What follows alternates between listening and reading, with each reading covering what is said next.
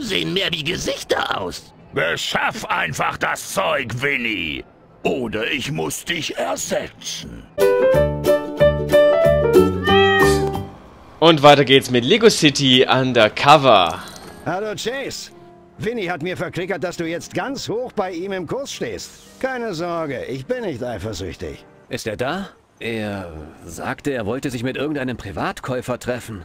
Ja, um ehrlich zu sein, bin ich ein wenig besorgt.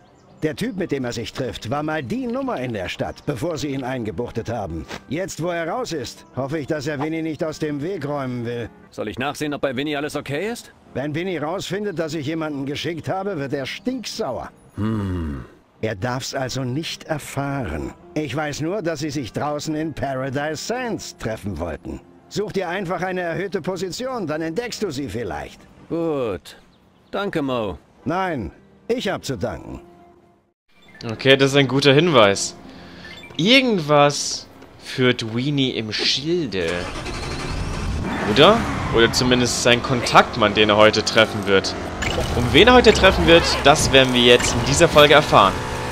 Doch dazu müssen wir erstmal nach Paradise Sands und von dort aus auf eine erhöhte Plattform, damit wir ihn beobachten können. Und dann wissen wir auch, ob ihm irgendetwas zustoßen wird. So, da vorne ist schon der Einsatzort. Perfekt. Wow. Das ist also das Hotel von Franks Eltern. Die müssen Kohle haben. Gut, ich muss auf das Dach gelangen. Hey, ist auf dem Dach Frank und sein Pferd? Entspannen die etwa? Ich dachte, die sind im Einsatz, genauso wie wir. Ah, zurück in fünf Minuten. Ich habe keine fünf Minuten. Da muss ich wohl auf die harte Tour hoch. Okay. Wir nehmen jetzt den schnellsten Weg nach oben auf das Gebäude von diesem schönen Hotel. Das Honey Hotel. Das Hotel von Franks Eltern. Und ich weiß auch nicht, könnt ihr euch vorstellen, warum Frank gerade nur faulenzt? Der ist doch genauso ein Polizist wie ich. Ein Cop. Und wir haben einen wichtigen Auftrag. Wir müssen Rex Fury aufhalten. Was macht er? Nichts. Was meint ihr? Warum arbeitet Frank nicht? Hat er Urlaub genommen? Wurde er wieder versetzt von unserem Chief Dunby? Schreibt mir eure Ideen gerne in die Kommentare. Ich bin gespannt, was ihr schreiben werdet. Lasst uns gemeinsam rätseln, was Frank da oben also macht. Okay. Wir holen uns erstmal den Farbwechsel, damit wir diese Biene hier in der Mitte des Raumes oder im Außenbereich aktivieren können. Und, wow, hey, Moment, Moment, nicht so schnell. Wir wollen doch mit nach oben. Komm mal runter, Bienchen. Biene Maya. So, Biene Maya, warte mal kurz. Es geht nach oben. Rüber mit uns. Und hier können wir anscheinend trainieren, wenn wir wollen. Komm, das machen wir. Direkt mal boxen. Bam, bam, bam, bam, bam. Sehr gut. Eins von drei. Schön langsam. In den Fitnessclub kommen nur Mitglieder. Aber ich bin ja fit. Natürlich sind sie das. Sie wissen sicher nicht mal, wie man die Geräte richtig bedient. Ach ja? Natürlich wissen wir, wie man diese Geräte richtig bedient. Schau mal. Jetzt zeigen wir dir mal, wie wir laufen. Und zwar, wie schnell wir vor allem laufen können. Ja, das macht das harte Training bei der Polizei. Siehst du? Zwei von drei. Und ich glaube, wir müssen noch die Handeln aktivieren oder das mal machen, damit uns dieser Fitness-Typ glaubt, dass wir trainiert haben und auch fit genug sind, um diesen Bereich hier zu betreten. Eieiei, was man nicht alles tun muss, um sich zu beweisen. Na gut, und das letzte Mal. Perfekt. Na gut, Sie scheinen tatsächlich ein Mitglied zu sein. Obwohl ich Sie nicht erkenne und Sie auch keine Mitgliedskarte dabei haben. Naja, um ehrlich zu sein bin ich Cop, aber weil wir unter undercover sind, kann ich ihm jetzt schlecht meine Dienstmarke zeigen. Okay. Hier holen wir uns erstmal Dynamit. Dynamit kann man immer gebrauchen. Und dann können wir das auch hier einsetzen, um diese Tür zu sprengen. Ich hoffe, er ist nicht böse auf uns, dass wir das jetzt tun. Yeah, super. Und hoch mit uns. Oh, Aufstuhlmusik. Aufstuhlmusik. Aufzugmusik, meine ich. Perfekt. Hey, Honey. Frank! Hallo, Chase! Hast du dich im Hotel meiner Eltern einquartiert? Nein, ich suche nach Vinny Papalado und Rex Fury. Hm, ich kann mal im Gästebuch nachsehen. Das ist nicht... Egal. Hast du von hier oben aus irgendwas Verdächtiges beobachtet? Nö. Da war nur dieser komische Hubschrauber, der vor ein paar Minuten hier vorbeiflog, um dann auf dem Gebäude gegenüber vom Herbert Hotel zu landen. Beim Herbert Hotel? Dann muss ich dahin. Hey! Was spricht denn gegen das Hotel meiner Eltern? Ob das wohl mit dem Gast zu tun hat, bei dem sich die Schokolade auf dem Kissen als Kakerlake Mach's rausstellte? gut, Chase. Äh, tut mir leid, Frank. Du kannst da gerne weiter abhängen, aber wir müssen weiter. Das Herbert Hotel. Und da gegenüber sollte sich vielleicht Vinny Papalado aufhalten mit seinem Kontaktmann. Zumindest hat da Frank etwas Auffälliges beobachtet. Da ist eine Hubschrauber gelandet. Hier der Hinweis an euch, falls euch die Folge gefällt, lasst doch einen Daumen hoch da. Vielen lieben Dank für eure Unterstützung und eure Liebe. Ganz genau. So, das Huhn bringt uns sicher auf die andere Seite. Jetzt befinden wir uns hier irgendwo auf einem anderen Hotel. Aber das Hotel ist nicht das, auf das wir eigentlich hin wollen. Oder landen wollten. Es geht natürlich weiter. So, hier sollte mal jemand die Blumen gießen. Zum Glück bin ich da als Farmer. Okay, was haben wir denn hier Schönes? Ah, okay. Das ist so eine kleine Abdeckung. Und damit können wir hier... Na, jetzt habe ich es fallen gelassen. Upsala. Upsala. Oh. Da gibt es ja noch einiges zu holen. Ein paar Stats. So, noch einmal. Wir müssen das nämlich hier blockieren. Diese kleine Fontäne. Damit die Fontäne stärker wird. Denn je mehr wir abdecken, desto mehr Druck wird aufgebaut. Und das muss ja irgendwo raus. Das heißt, wir werden eines dieser Dinge offen lassen. Und ich glaube, durch diesen Wasserstrom, durch diesen Wasserdruck kommen wir nach oben.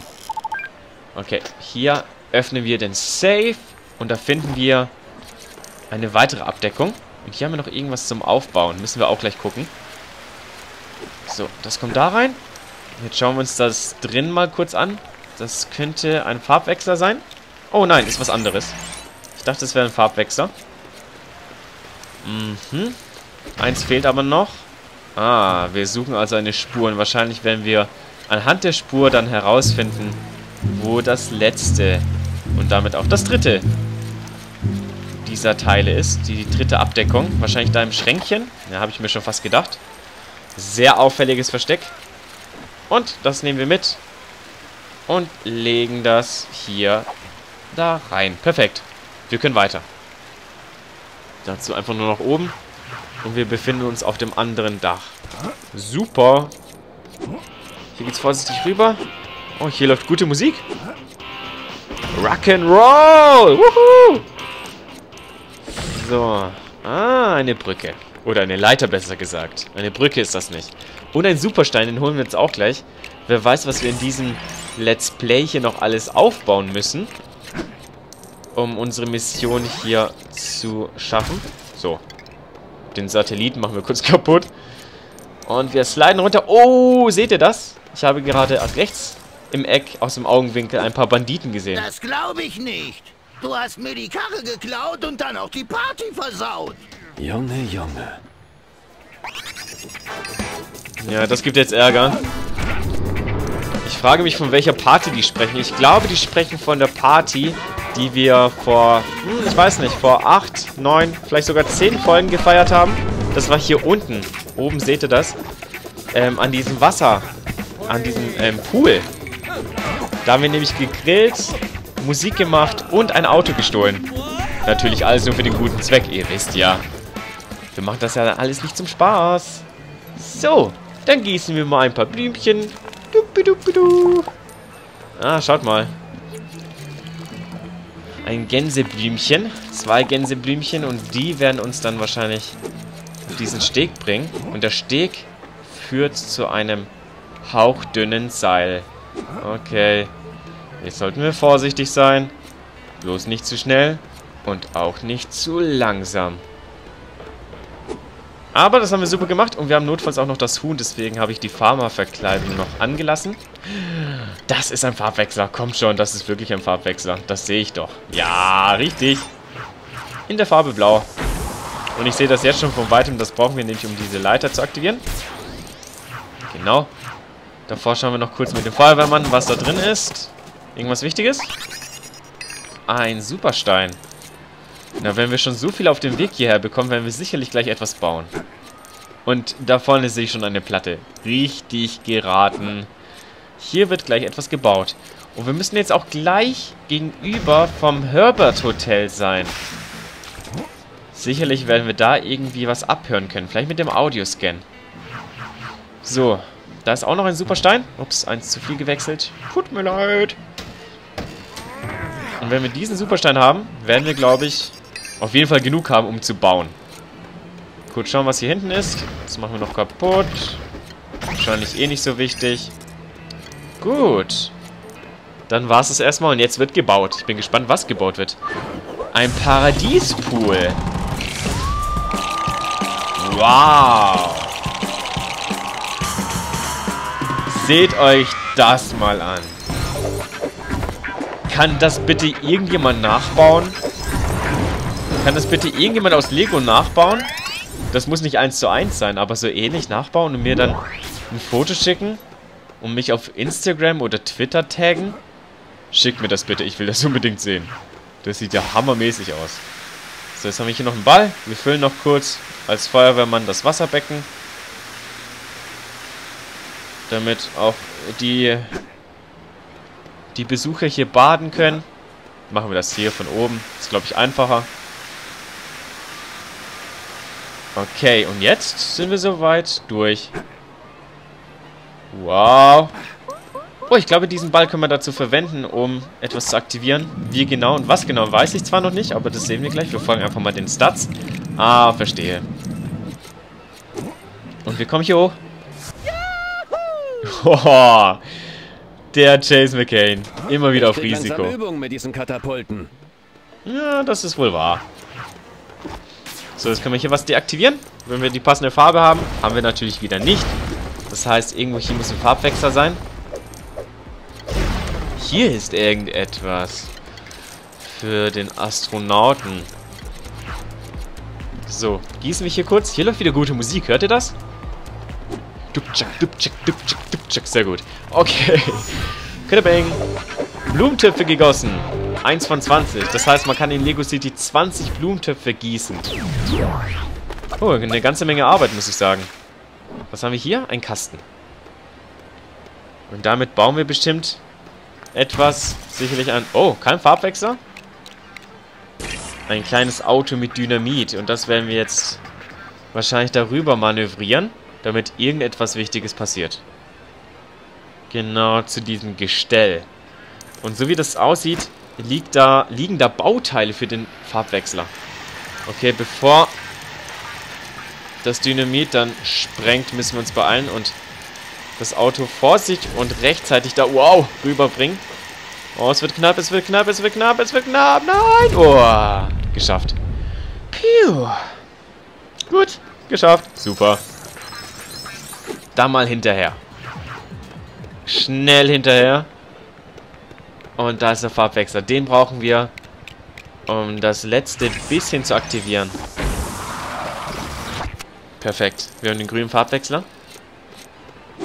Und jetzt kommen wir zu diesem komischen Teil, was auch immer das ist. Da wird bestimmt irgendwas rausfahren.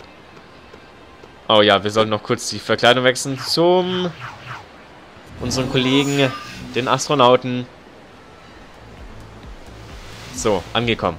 Was haben wir hier zu aktivieren? Ich bin gespannt, was jetzt passiert. Was, was zum Teufel ist das hier? Ich weiß es nicht. So, aufgepasst, aufgepasst. Ah, da fährt was raus. Super. Ein Katapult. Okay, warum nicht? Und jetzt sind wir auf dem Herbert Hotel. Perfekt. Zumindest gegenüber davon. Leon vs. Oh nein. Chase McCain, der Arme. Oh, das Katapult war wohl nicht stark genug. Zu sehen, wo der Hubschrauber gelandet ist. Der Arme. Gut.